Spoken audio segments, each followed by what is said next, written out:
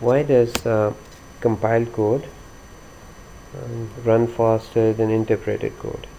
Now this question that we see here is basically focused uh, on that same concept right? So the question says that we have a sequence of high level language instructions inside a loop. And that loop will be executed 2000 times. Explain why using an interpreter to run this sequence will be slower than running a compiled version. Basically if this code is interpreted it is going to run slower and if this code is compiled it's going to run faster. See with compiler all instructions within the loop are going to be translated once only. So all instructions are going to be translated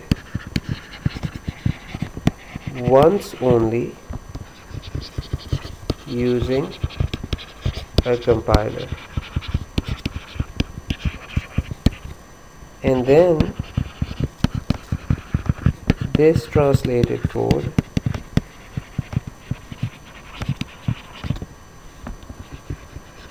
will be able to run on the machine on its own without the need of a compiler. So that's what the compiler is going to do. It's just going to compile it once and you know during compilation it's going to go through all those phases you know uh, of lexical analysis syntax analysis. So um, and code generation. So all of the phases are going to happen once only. Okay so these are going to have th this translation process is going to happen once only. Whereas what an interpreter does is it goes through the code line by line right? And once it translates an instruction it moves on to the next line. So in case of a loop when the loop runs the second time and the and the interpreter comes across the same instruction that same instruction needs to be translated once again. So the interpreter will once again you know uh, work on this instruction. It's going to do the syntax analysis the semantic analysis the code generation, code optimization.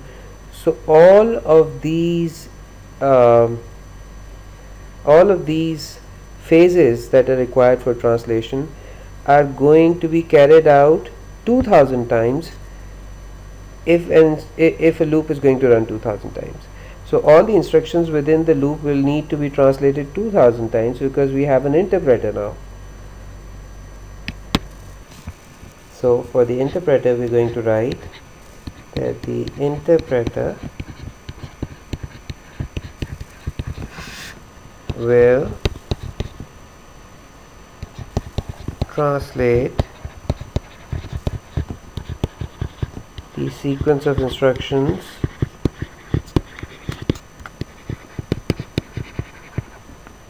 a sequence of instructions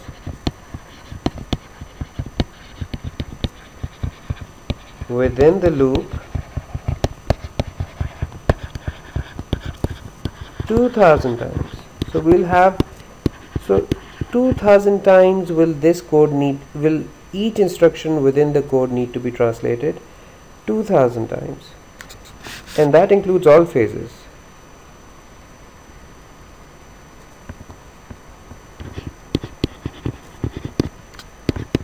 That includes all phases of translation.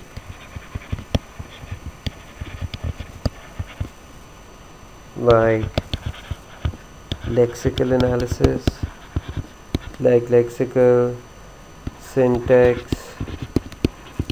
semantic analysis